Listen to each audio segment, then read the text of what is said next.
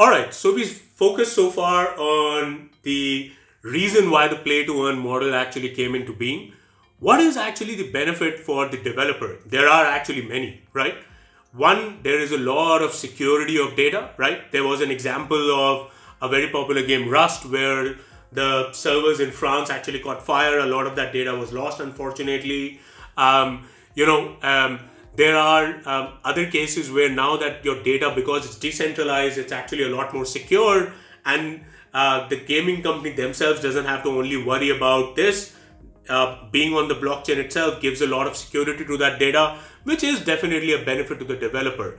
The larger benefit, however, is that the gaming, the gray market in gaming in-game items is huge, right? And the developers themselves don't benefit from it at all. Again, I will take the example of Clash of Clans. When Clash of Clans became really popular after the release in 2012, I think around 2014, 2015, I knew of many people who were buying maxed out villages at that time for $10,000 or even $20,000, right? These were people who didn't want to spend the time, uh, grind to actually max out their villages. And there were people who had spent the time and spent some money actually maxing those villages who were happy to sell these villages to other people who wanted to buy these maxed out villages. Supercell got no benefit from this whatsoever, right? These were off um, developer off market transactions that were taking place in a gray area where people were doing these peer to peer transactions. And there is no reason why the developer should also not get some benefit when these transactions take place. So by doing um, these now uh, play to earn models where the users themselves are owners of these assets, and given that we now have smart contracts, we can actually incorporate that every time a transaction take place, a fee of that transaction goes back to the developer so that you know we are promoting them, we are helping the developer actually make more money from this entire ecosystem so they have more money to bring us even more interesting games and keep developing on the gaming world that we actually like, right? So the developer definitely stands to gain a lot out of it. Now let's look at what else does the user benefit from it. Okay, so some of the other user benefits that actually come from this play to earn model is that now actually it's provable that they own that particular in-game item, right? a lot of games like uh, particularly games which are user generated or become very popular even like uh, counter strike they have issue of fake um, assets right? Uh, roblox has this issue a lot as well where um, the user uh, a creator actually creates something genuine. A lot of other creators unfortunately copy that and you can actually instead of buying an original uh, skin for five dollars you can buy that for either free or for 50 cents, so on and so forth. So the creator isn't benefiting, but neither is the user because they're buying fake things, right? A majority of users would actually like to support the genuine creator, but they didn't have any way to know what is fake and what is not. Now it's actually provable. The provenance of your asset is actually there, and blockchain technology is really going to help you to do that. Also, you can now incorporate scarcity and increase the prices of these in-game items due to them being genuine collectibles, right? So if I make a particular sword, which is great, I can only say that, you know, only 50 of these swords will exist in this particular game. And I can actually now control that, which will actually increase the prices and give the benefit to the users, to the creators, much more because of the scarcity aspect, the collectible aspect of this in-game item, right? The other beauty is a lot of people uh, need not even play the game to actually benefit from this trading marketplace itself, right? Because these items exist independent of the game itself, and there is a marketplace to trade from which, as we discussed, even the developer can benefit. Now I can just be a trader myself and come and select sort of which items I like, buy it off other creators or other users, and as they increase in value over time because i know um, you know people are going to like these items even more i can participate in this gaming marketplace without being a gamer or even grinding or ever actually playing the game. This is pretty much how real world market works as well right?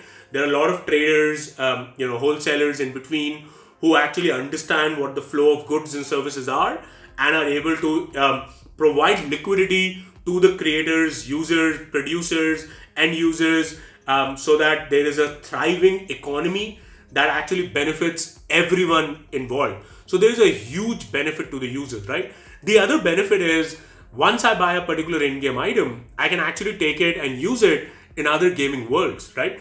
What developers uh, will be doing is they can take these blockchain game items and create various gaming mechanics around the same items, right? So my sword, which I can use in Minecraft um, to actually, you know, kill um, uh, pillagers, can be a sword which can actually open a key in another puzzle game can actually be a, a sword which becomes a almost like a Harry Potter magical wand in another game can become something with which I defend and make, make it a shield in another game called Forgotten Artifacts, which is on the InGen multiverse. Um, so there are, you know, the same in-game item can be used in various game for me as a user for various different use cases, right? And the developers get the chance to use the same in-game items and create different mechanics around it but i as a user can benefit by purchasing it once having to being able to use it in multiple games multiple times and also benefiting from it by proving its authenticity its provenance benefiting from it um, by being scarce and increase in its value as a collectible so that's great for me as well. Let's now look at um, some of the popular, um, you know, play to earn games that are out there, right? So one is Axie World. Um, in Axie World is a breeding and compete game.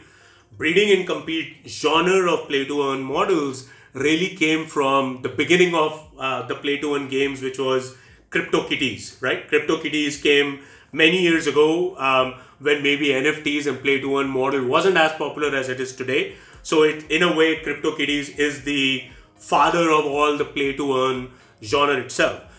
CryptoKitties was probably the first breed and compete subgenre.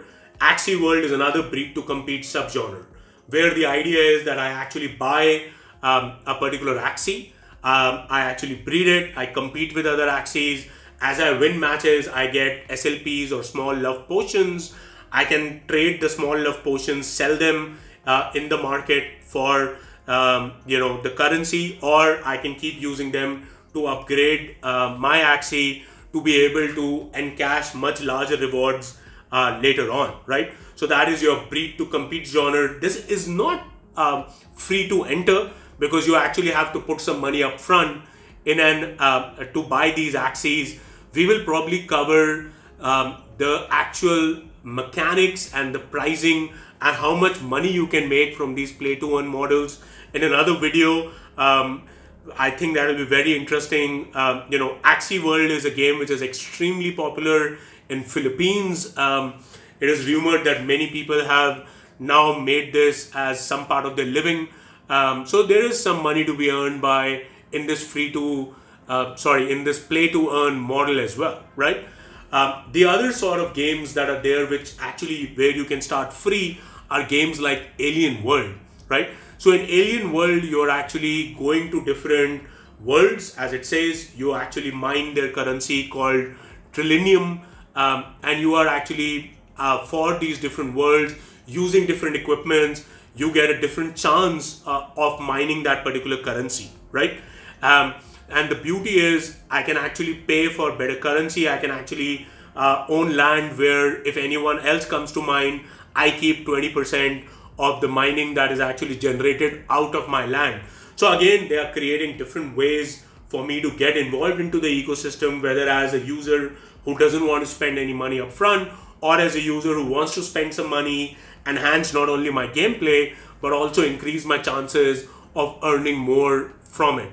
And obviously all the in-game items that I buy are actually my um, in-game items. I own them um, and I should be able to sell them off. And hopefully later there'll be more gaming mechanics which will develop around these in-game items, which will make them even more valuable for me as a user, but for also others who will become part of this ecosystem. So that is our summary of uh, the play to earn uh, blockchain gaming, a new model that is actually taking gaming by storm. It is uh, really, as I said, centralized around giving value back to the users who are spending north of 150 billion dollars on the gaming market every year right let us know um, how you thought um, this video is. Also, would be great to understand from you guys what are the other topics that actually we should cover, and we'll be very happy to cover those in the subsequent videos. Take care and keep gaming.